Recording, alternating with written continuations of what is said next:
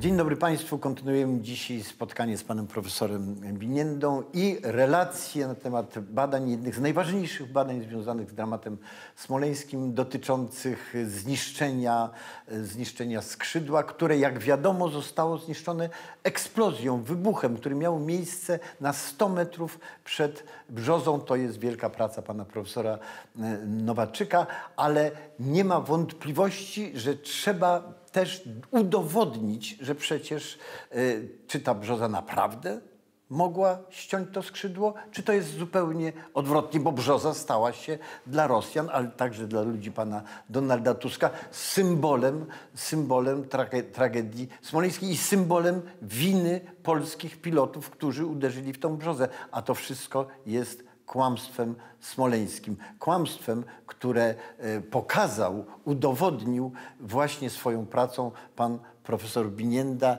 i Wojskowa Akademia Techniczna, która dzisiaj zakończyła swoją pracę, którą dzisiaj będzie e, relacjonował, a dokładniej, dokładniej Państwu przedstawiał pan profesor Binienda, biorąc za punkt wyjścia swój olbrzymi dorobek w tej sprawie. Tak, no bardzo się cieszę, że Wojskowa Akademia Techniczna i grupa pana profesora Olejnika y, wykonała y, tak y, dokładną pracę, niezależnie, bez kontaktowania się ze mną, przedstawiła swoje wyniki. Wyniki, które oczywiście no, potwierdziły te wszystkie prace, które ja zrobiłem wcześniej. Cieszę się z tego, że potwierdzili, że w sytuacji uderzenia z samolotu Tu-154M na wysokości 6 metrów i 75 centymetrów z prędkością liniową po, poziomą 75 metrów na sekundę z prędkością do góry 6 metrów na sekundę z kątem podniesionym do góry y, samolotu o 14 stopni.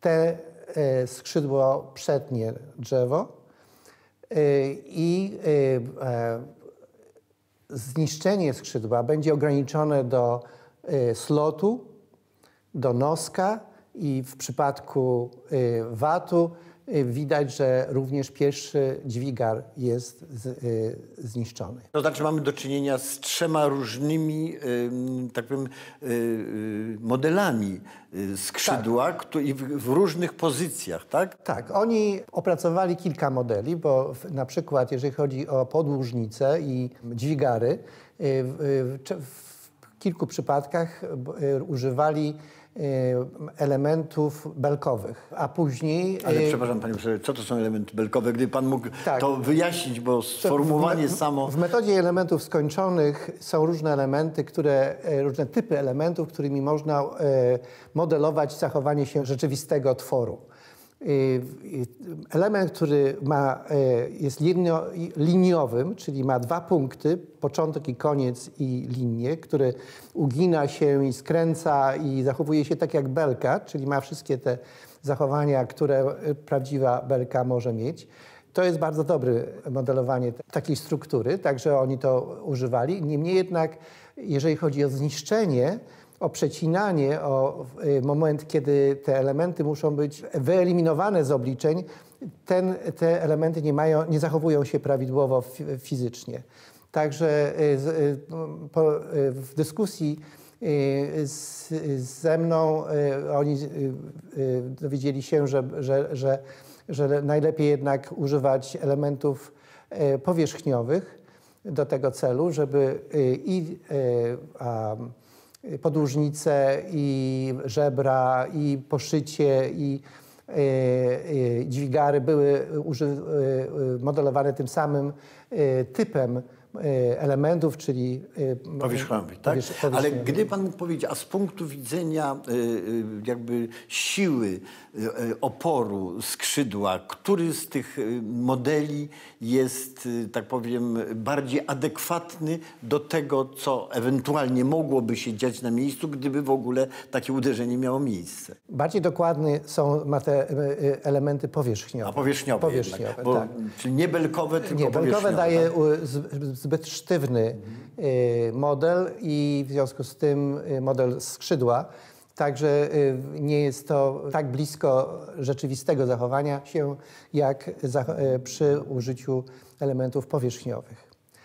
I, i jeżeli chodzi o drzewo, to są e, użyte elementy przestrzenne. I to są najdokładniejsze elementy, które są użyte i im mniejsze te elementy, tym lepiej. W modelu Niaru oni użyli y, y, bardzo małe elementy. Ja też użyłem bardzo małe elementy, no ale do tego potrzeba bardzo y, duży komputer, żeby to liczył. Jeżeli chodzi o VAT, oni użyli większe elementy, przez co brzoza zrobiła się mocniejsza. Twardsza. Tak? Twardsza, tak? bardziej wytrzymała. Y, bo im większe elementy, tym ten y, y, ale to wydawałoby się, że w takim razie VAT podjął pewne ryzyko, prawda? Dlatego, że wzmocnił, można by powiedzieć, stronę tych, którzy uważają, że to naprawdę tak. brzoza przecięła skrzydło, a nie odwrotnie. Tak, tak. A co, a mimo to stało się inaczej, tak? No, mimo, się, mimo to stało się inaczej. Gdyby oni użyli na przykład bardzo małe elementy, to pierwszy dźwigar nie zostałby zniszczony. A ponieważ użyli większe elementy, to pierwszy dźwigar w skrzydle został zniszczony. No właśnie, panie profesorze, bo gdy pan widzimy teraz na, na, na, na tych filmikach, prawda, jak skrzydło przecina brzozę, tak naprawdę, jak rozumiem, w żaden sposób nie nadwyrażając swojej y, struktury. Po, po pierwszy dźwigar przecież i slot nie sprawiają, że skrzydło się łamie. Nie sprawiają, że on Dal, będzie tak. już, tak powiem, y, zniszczy, zniszczy samolot, jeżeli dobrze rozumiem, bo tam jakieś bardzo drobne kawałki tylko tak, padają. To znaczy opływ powietrza wokół skrzydła dalej jest y, możliwy, ponieważ w Tu-154M są trzy dźwigary. W wielu samolotach y, na zachodzie są tylko dwa dźwigary, także przy złamaniu pierwszego i ten e, Tak, to wtedy było, już był osłabiony bardzo. Był, był osłabiony, ale w tym wypadku y, są trzy dźwigary i one stanowią sztywność na skręcanie i w związku z tym ta końcówka może się jeszcze dobrze utrzymać i dalej yy, Znaczy ona by nie odpadła w takim razie. I dalej Gdyby może naprawdę to miało miejsce, tak, to ona by nie odpadła. Z, yy, w produkowaniu siły nośnej i stabilno, stabilnego przelotu samolotu. Ale nawet gdyby odpadła, to yy, zgodnie z obliczeniami NIAR-u tylko 6% siły nośnej by yy, samolot utracił, co było do wyrównania, wyrównania tak. za pomocą autopilota, co też autopilot zrobił. Tak jak praca profesora e, Nowaczyka pokazała, że autopilot skierował prawe skrzydło do przodu e, i w ten sposób wyrównał lot, no ale następnie większe zniszczenia, bo te zniszczenia były większe niż drzewo mogło zrobić. A dlatego, nie ponieważ były tak. y, zniszczeniami wybuchowymi, wybuchowymi, a nie zniszczeniami przez y, jakiś y, kontakt z obiektem. Ale panie profesorze, ja, jeżeli ja dobrze rozumiem, pana prace pokazują także, że w istocie, gdyby naprawdę samolot uderzył w jakąś tego typu przeszkodę jak brzoza, to wcale by się nie przechylił na lewą stronę. Czy tak jest? A oczywiście, to jest bardzo ciekawe właśnie, ponieważ e, e, nikt nie policzył e, te, tej symulacji dłużej. Teraz ja przeliczyłem, przeciągnąłem, że tak powiem, obliczenia niarowskie dłużej i okazuje się, że po uderzeniu każdego drzewa w to skrzydło siła impulsu jest na lewe skrzydło do góry. W związku z tym następuje impuls, który przechyla cały samolot na prawe skrzydło i nosem, e, nos jeszcze bardziej do góry. A, a może pan profesor powiedzieć, w jaki sposób pan to zidentyfikował, że rzeczywiście tak jest? Że... Przyspieszenie pionowe e, po uderzeniu w obiekt taki jak drzewo jest wzrasta z przeciążenia 1.1, jaki był przed kontaktem z drzewem, do 2.2 albo 3.5 w zależności od tego, jakie, jaki model drzewa się Ja przyjmie. pytałem dlatego, bo w pracy y, Wojskowej Akademii Technicznej jest też dokładnie, dokładnie to, samo, to samo. To samo, samo chyba 2,2% tak. coś takiego. Taki sam efekt tak. jest i w, w ich obliczeniach, czyli jest wzrost przeciążenia z normalnego przeciążenia przed kontaktem do wyższego przeciążenia. Natomiast w czarnej Ta? skrzynce Ta. widzimy obraz, gdzie przeciążenia 1.1 jest obniżenie e, przeciążenia do 0.6. No bo czarna skrzynka oddaje to, co się naprawdę działo w rzeczywistości, a nie to, co chciał pan Donald Tusk i pan Putin, to jest kolejny prawda? dowód na no, oczywiście, e, tak. przecięcie tego skrzydła Ona oddaje pomocą, przebieg wydarzeń prawdziwy, a nie fikcyjną za pomocą e, eksplozji, pancerną brzozę. a nie tak. kontaktu z brzozą. Bo y, eksplozja eliminuje te 6%, załóżmy, czy 10% siły nośnej na lewej stronie. W związku z tym samolot traci część y, siły nośnej na lewym skrzydle i obraca się na lewe skrzydło. Tak jak Natomiast- jest zawarte w raporcie Maku, w raporcie pana Dokładnie. Millera, tam 60 stopni, a Dokładnie. potem się obraca do góry nogami, prawda? do Natomiast góry tym. od uderzenia I, następuje impuls. i upada, i upada prawda, Tak. w, y, na płasko i tak Dokładnie. dalej. i Tak dalej. Kontakt z drzewem przez czas przejścia drzewa przez skrzydło, co trwa 70 milisekund prawie, naciska to skrzydło do góry. To lewe skrzydło do góry na dużym ramieniu, bo jest y, prawie y, 12 metrów od y, osi samolotu.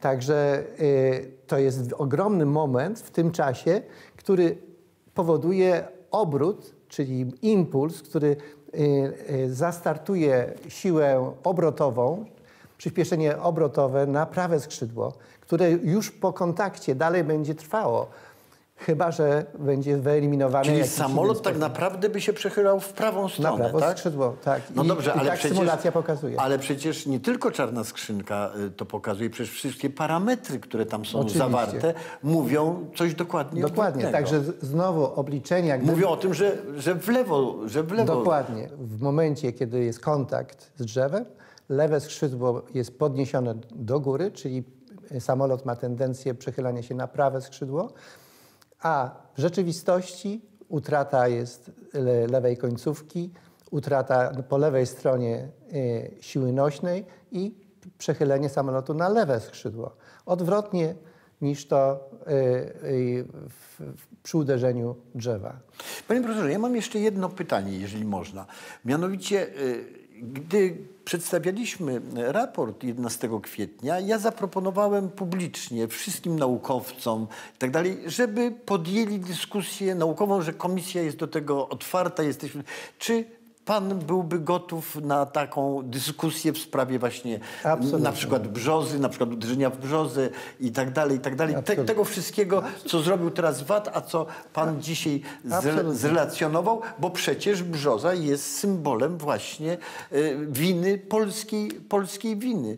Więc to jest najważniejsza rzecz, która została wbita w świadomość społeczną i po dzień dzisiejszy ta brzoza kłamstwo smoleńskie podtrzymuje. Więc może by ci panowie od pana Laska, prawda, od pana Millera, y, niech podejmą taką dyskusję. Pan profesor jest gotowy? Absolutnie. Naukowcy prawdziwi No właśnie e, z punktu widzenia etycznego tak robią. Jeżeli się nie zgadzają z wynikami, to robią swoje badania i pokazują swoje wyniki. Nie swoją opinię, tylko swoje wyniki. VAT właśnie tak zrobił. VAT wykonał swoje badania i pokazał swoje wyniki, które zgodziły się z moimi wynikami. Ja tak zrobiłem i NIAR tak zrobił i nasze wyniki się zgodziły. Y, Wszystkie te y, y, trzy instytucje mają te same zachowania się, czyli przy kontakcie z drzewem samolot pochyla się na prawe skrzydło, dziób zadziera się do góry, a rzeczywistość pokazuje, że samolot stracił a, siłę y, No przeciążenia wybuchu, tak, oczywiście. i pochylił się na lewą stronę, Zgadza czyli się. odwrotnie niż w tej symulacji. Ja oczywiście służę swoją osobą w każdym momencie.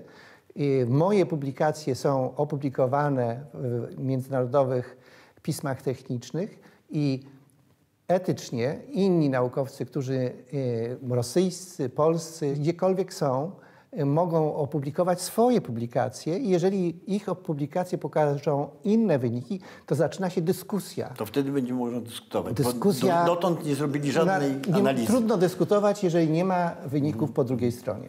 Bo to, co pan profesor teraz mówi, to, co pan zrobił, to, co zrobił VAT, przesądza, że prawdziwą jest analiza, którą roz, z, zrobił, zrobiła komisja, że prawdziwą jest ta y, y, analiza pana profesora Nowaczyka, że na 100 metrów przed brzozą był wybuch, że zniszczenie, które skrzydła było skutkiem wybuchu, a nie żadnego uderzenia w brzozę to wielka, wielka sprawa. Bardzo serdecznie dziękujemy za ten olbrzymi dorobek i tą determinację, którą Pan przez te 12 lat e, pokazał, będąc nieustannie atakowany przez ludzi, którzy nawet palcem nie dotknęli e, badań naukowych, tylko i wyłącznie e, propagandy. Za to proszę przyjąć przeproszenie ze strony Polaków, ale przede wszystkim podziękowanie, jeżeli chodzi o e, Wojskową Akademię e, Techniczną. Naprawdę uczelnię, która e, jest uczelnią podtrzymującą,